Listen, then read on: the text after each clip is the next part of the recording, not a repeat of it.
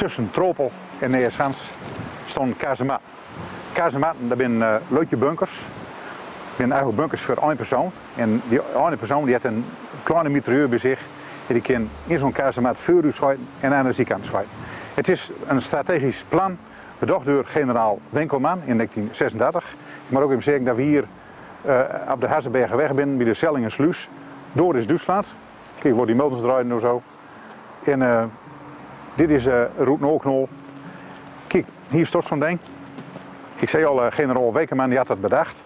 En hebben ze in 1939 ben ze begonnen te bouwen met die dingen. En dan hebben ze zo'n 60 van die dingen er neergezet. Kazemat, hè? mooie noem trouwens, kazemat. En hier ben die schuit gewoon. Kijk, dit is, dit is die muren. Zo'n muren is zeker, nou, zeker maar een half meter dik. Die ben die schuit gewoon, die hebben ze dichtmetseld. Kunnen ze allemaal mos op. En aan de achterkant door is de ingang. Door stapte de soldaat van Dans die stapte door in en uit. En dan moet je toch echt niet aan denken. Ik zal maar even. Mag ik hem omhoog moet je toch echt niet denken dat je hierin zit, man, jongen, met een mitrailleur. En een bedompte hokje eerst. Nou, nou, nou. Maar die muur is ja, echt, echt een half meter dik. Zeker waar. En dan is er uh, aan deze kant die, die, nog weer zit. En er is een perfecte plek voor de vleddermozen. Kijk, dit is ook een schuit geweest.